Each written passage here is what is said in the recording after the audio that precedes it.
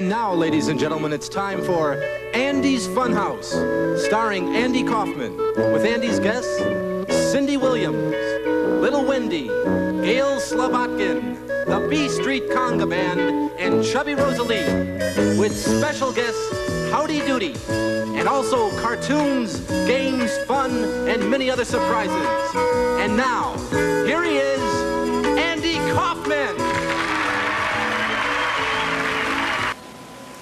Now, now, hello, this is my special and it is for 60 seconds.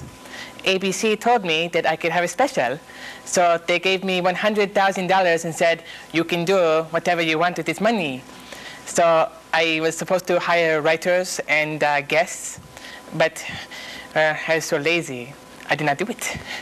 So I actually went on vacation with the money, and now I have nothing left except for these cameras and uh, couch here.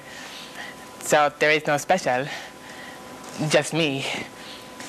I have no material, no guests, no nothing, all right? So we will just sit here like this for 60 seconds. They think I'm fooling, they think it's a joke. No, it's, I'm not fooling, this is not a joke. This is it, this is my special. You're gonna come back and see that I'm still sitting here. Thank you very much.